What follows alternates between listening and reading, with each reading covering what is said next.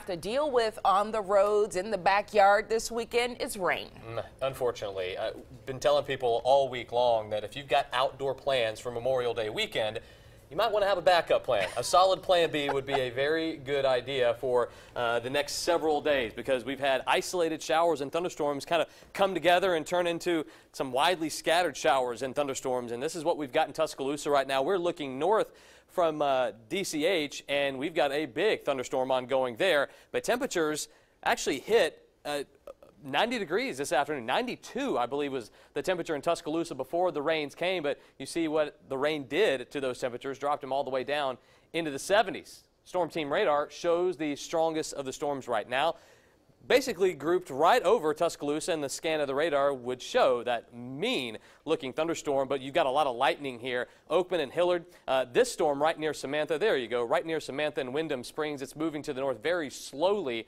uh, as part of a uh, outflow boundary that collided with another area of, uh, of thunderstorms. So we've had a lot of those collisions going on today. But look at where we've seen the rain and where we have it. Numbers in the 80s and even 90s, 90 degrees in Hamilton.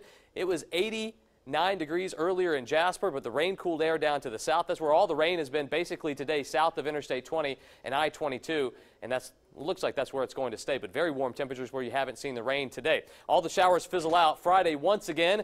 We will see another round. Showers, thunderstorms popping up during the afternoon. Very random in the formation. Not a whole lot of rhyme or reason to where they form, but a good, widely scattered uh, area of showers and thunderstorms for Friday. Then we turn our attention to Saturday. Saturday, we see enhanced rain chances because of a lot of tropical moisture that will be streaming in from the Gulf of Mexico, all due to an area of tropical weather that's not named yet. It's not a depression, it's not a tropical storm, it's just an area of interest with a very, very good chance, 90% chance of formation once it gets into the Gulf of Mexico. That's from the National Hurricane Center. We are looking at the possibility of it being a tropical depression or tropical storm by the time we get to late Saturday and into Sunday. Unfortunately, that means the beach forecast for this weekend is looking absolutely terrible. Really good chances of rain, numerous showers and thunderstorms, and flooding rain is possible. Inland, 6 to 10 inches, and a high rip current risk too through Memorial Day. We could also have some coastal flooding with storm surge if we do get a tropical storm or tropical depression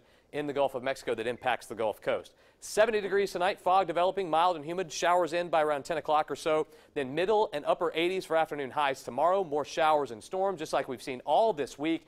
And then the weather aware days, Saturday, Sunday into Monday, Memorial Day. You got a lot of folks outside. Please be careful. If you do have any outdoor plans, keep your eyes to the sky and stay weather aware. Sherry?